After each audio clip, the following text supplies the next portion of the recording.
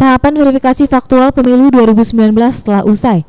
Tahapan selanjutnya adalah penyerahan usulan daerah pemilihan. Komisi Pemilihan Umum sudah menetapkan tiga rancangan daerah pilihan. Ketiga rancangan ini selanjutnya akan melewati uji publik sebelum diserahkan ke Komisi Pemilihan Umum Pusat.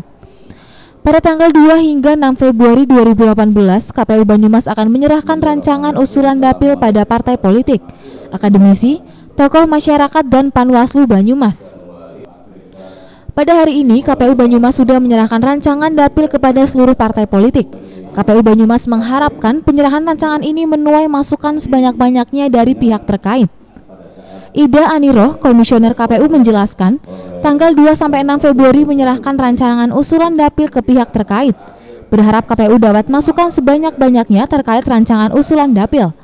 Ini jadi dasar uji publik yang akan dilaksanakan pada tanggal 7 sampai 13 Februari sebelum nantinya akan disampaikan ke KPU RI melalui KPU provinsi harapannya kami akan mendapatkan masukan yang sebanyak-banyaknya terkait e, rancangan usulan dapil yang sudah kami sampaikan tersebut. E, nantinya akan kami jadikan sebagai dasar pada saat e, uji publik yang akan dilaksanakan sekitar tanggal 7 sampai dengan tanggal 13 Februari 2018. Dari Banyumas, Damar Nurani, Satelit TV, mewartakan.